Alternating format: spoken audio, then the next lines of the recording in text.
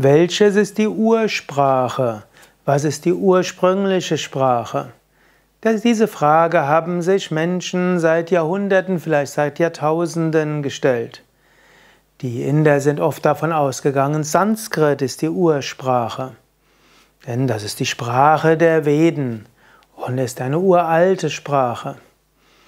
Die Europäer sind manchmal davon ausgegangen, Hebräisch ist die Ursprache. Es gab einen deutschen Kaiser oder Kaiser des Heiligen Römischen Reiches deutscher Nation, Friedrich II., der Anfang des 13. Jahrhunderts herausfinden wollte, was ist die Ursprache. Er hat Kinder aufwachsen lassen, ohne ihnen Spracherziehung zu geben, um herauszufinden, in welcher Sprache werden die sich unterhalten. Sie haben aber keine, in keiner Sprache sich unterhalten.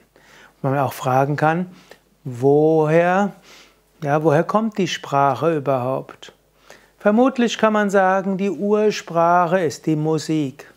Kinder verstehen Eltern besser, wenn sie in einem Singsang mit den Kindern sprechen. Kinder selbst haben einen gewissen Singsang.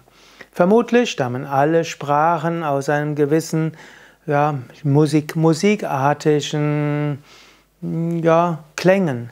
So ähnlich wie Vögel sich unterhalten in einem der Vogelsingsang, auch der Affensprache ist mit vielen Höhen und Tiefen verbunden. So könnte man wahrscheinlich sagen, Musik ist die Ursprache.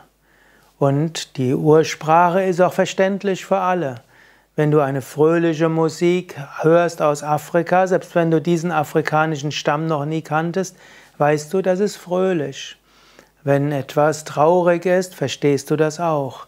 Musik ist vermutlich die Ursprache des Menschen und sie ist enthalten, auch ohne dass du diese Sprache gelernt hast. Sie gehört letztlich, man könnte sagen, zum Urrepertoire des Menschen.